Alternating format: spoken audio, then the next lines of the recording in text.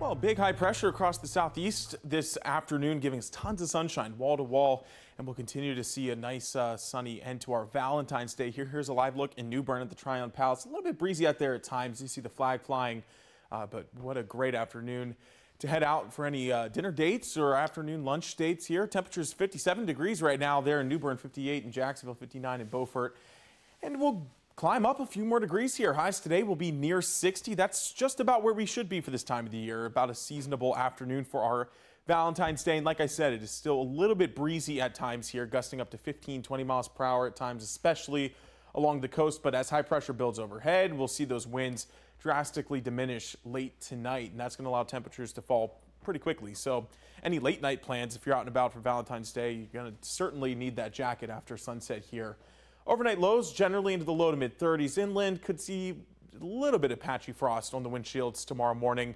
But other than that, cold start, we're going to see another really nice afternoon for us here tomorrow with a few more clouds, a few high clouds, but again, southerly winds will start to pick up. High moves offshore. We'll be into the low 60s to mid 60s tomorrow. And we even continue that into our Friday as well as that high continues to move offshore. We'll be tracking a disturbance sliding in from the north. We will bring back in more clouds Friday and then lingering into the weekend. A quick moving system to our north could give us a couple spotty showers earlier in the day on Saturday, but I think it's running into a moisture starved atmosphere, so most of us will be dry for this weekend. But the temperature will be noticeably different throughout the morning on Saturday. Temperatures will become much colder.